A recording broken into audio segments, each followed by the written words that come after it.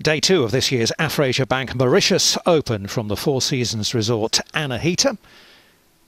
And it was a day that uh, Bernd Wiesberger struggled, to be honest.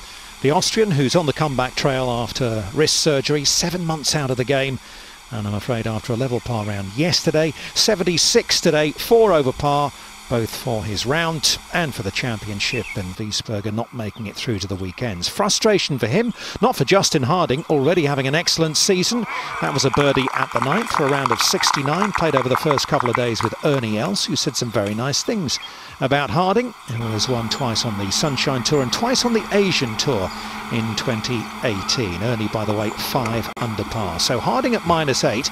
Mathieu Pavon, the young Frenchman looking for a first European Tour victory, Played well down at Heritage in this tournament last year, going nicely again.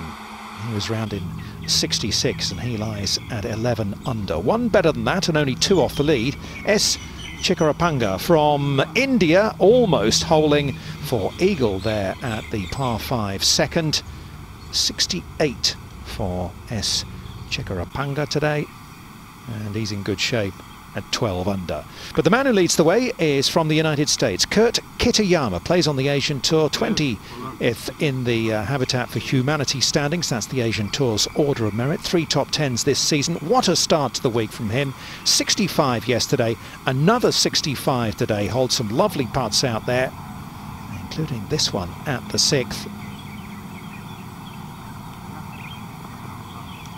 And that sees him two shots clear at the top of the leaderboard with two rounds to go, hunting what would be the biggest win of his young career. Kitayama leads the way.